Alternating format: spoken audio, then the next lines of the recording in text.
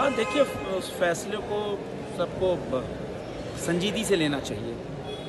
और हम कह सकते हैं कि माननीय उच्चतम न्यायालय का फैसला ऐतिहासिक फैसला है। और इस ऐतिहासिक फैसले को, जैसा हमारे आदरणीय प्रधानमंत्री नरेंद्र मोदी जी से देश से आग्रह किया है, कि बहुत न्यायालय का सम्मान करते हुए इस फैसले को बहुत संजीदगी से लेते हुए और आपसी सौहार्द बनाते हुए और दोनों जो पक्ष हैं, दोनों पक्ष इस न्यायालय का जो निर्णय है, उसका सम्मान करें। और हम कह सकते हैं कि फैसला ऐतिहासिक है, न किसी के लिए खुशी है, न किसी के लिए गम है। और ये न्यायालय का हम सब 130 करोड़ देशवासी सम्मान करते हैं, और इसको सम्मान के दृष्टिकोण से ही देखा जाना